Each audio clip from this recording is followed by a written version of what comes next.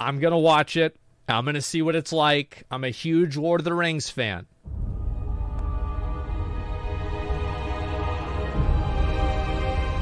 That's cool.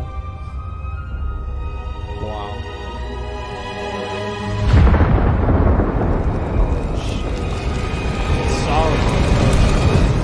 Three rings for the Elven Kings. Under the sky.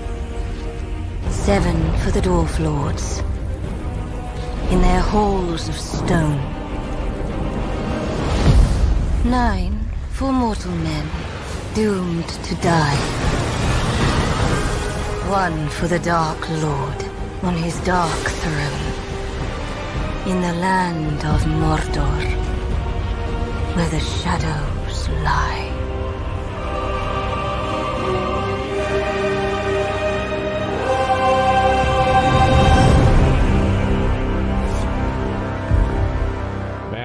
So, number one, it doesn't really tell you anything. You have no idea what's going on. I don't know why it's not Galadriel's voice. No, it's not.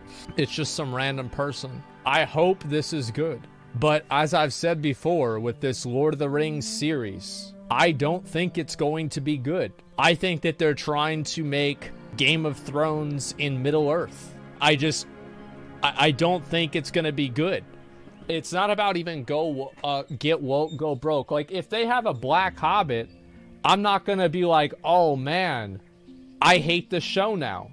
Like that's not the reason why I would be mad about it. I would be mad about the thing. I'd be mad about the show if it sucks. Like if the show sucks and it's like this as a trailer.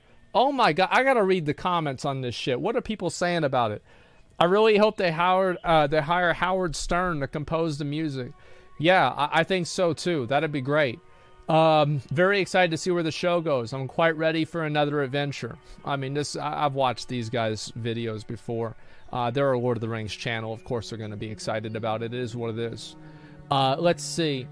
People are pretty happy about it. This is either going to be a masterpiece or a complete train wreck. No middle ground for TV shows like this one. I uh it's like yeah it also doesn't really make sense that it wouldn't it it's just literally zero likes. Yeah. I don't know man. They're happy about it because they haven't seen anything lord of the rings related for over a decade. Like i just felt like everything that wasn't the peter jackson movies like the shadow of mordor and everything i just felt like it was all fan fiction. Like i had no there was no reason really for me to play the games it was just like what is this? Like this is weird. Like the hobbit like the yeah the hobbit was kind of i remember bro like so we went to see the hobbit because like my mom and my dad and i every christmas would watch lord of the rings. Like we went to the movie theater like for fellowship two towers return of the king. We went on christmas to watch it right? And then so the hobbit comes out and i'm like well yo we gotta go again right? Like this is it's it's part of the tradition and I remember in the movie theater, fucking like, uh, some crazy shit was happening. I look over, my mom's like this.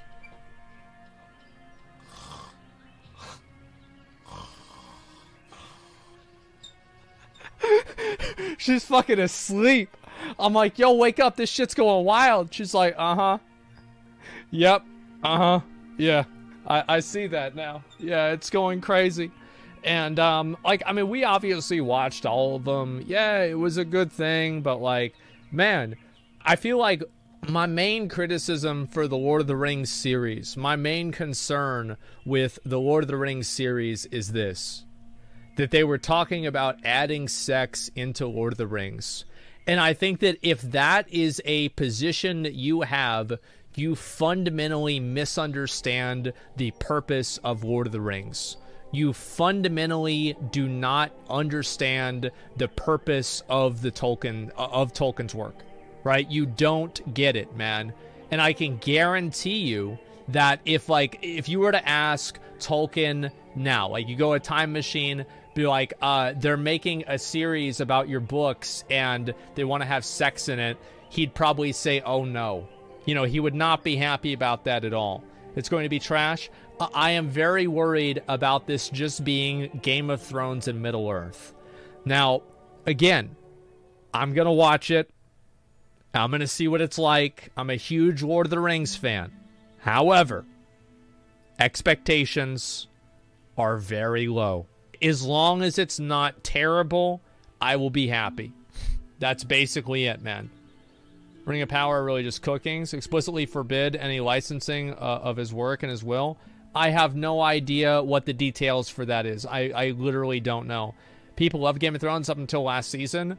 I think Game of Thrones was good until se- uh, after uh, season four. At the end of season four, season four was amazing and then everything after that was downhill except for like a few of the different episodes that were just like mainly action scenes like battle of the bastards and, and, and shit like that right? Uh season four the end of season four was the end of game of thrones being good. Everything after that was game of thrones being game this other bullshit right? And like why is that? It's because it diverged from what the original work is right? Like guess what? Fucking two random dipshits you are not George R. R. Martin. There's a reason why they're paying him to use his work.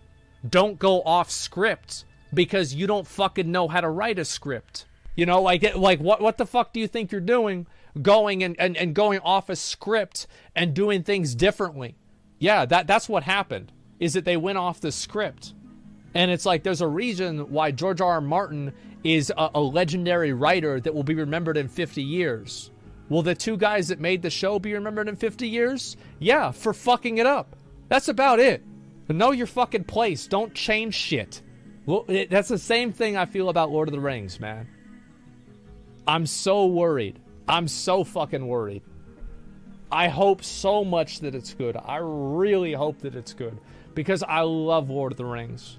But damn, man. Like, I hope that it. Uh, not sure if it's a good thing, but Peter Jackson's not involved in the TV show.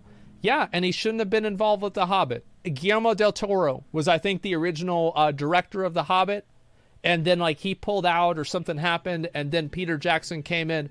I think it's good to have somebody new come in. Yeah, I'm fine with that. That would have been amazing. Yeah, like Pan's Labyrinth, like uh, make it a little bit more mystical, which is, you know, that definitely is in line with it. Yeah, for sure. Uh, his version would have been sweet. Yeah, like Del Toro would have been sweet, but uh, Suits suck. Yeah, yeah. I mean, like he, that guy makes a lot of really good movies. Like even like you go back to like watch Hellboy 2. Like I think he directed Hellboy 2. Like that shit was fucking lit. Like especially like the the scenery and just like everything about it was fucking amazing. Uh, Hobbit was already the best, but it still gets a little stiff. I've seen Smaug CGI over the er, over these years later. Shouldn't have been its own trilogy. Yeah, it should have been two movies, maybe one movie, right? And uh, uh, again, like uh, one of the best sequels? Yeah, 100%. So, like, what I'm saying is, like, I, I hope it's good. I said before, like, I hope it's good, but that's about, it's about as far as I can go. I hope it's good. It was three because of the movie studio politics, apparently. I forgot. I thought it was Peter Jackson trying to, like, make it the same as Lord of the Rings. Uh, yeah, it, it's hard to say. I think The Hobbit, like, it's not like it was bad. It's just bad whenever you compare it to Lord of the Rings. Like if it was just like a you know a standalone movie, it would just be like another fantasy movie. It'd be like uh, it was on the same level as like Chronicles of Narnia. It's like okay, all right, cool, right? But like you're not gonna go back and think about that movie ten years later. It didn't warrant a trilogy. Yeah, that's a good way to say it. So anyway, uh, guys, I, I, gotta go ahead and head out. I- am gonna have dinner with my dad. I wanted to get some of these reactions out of the way.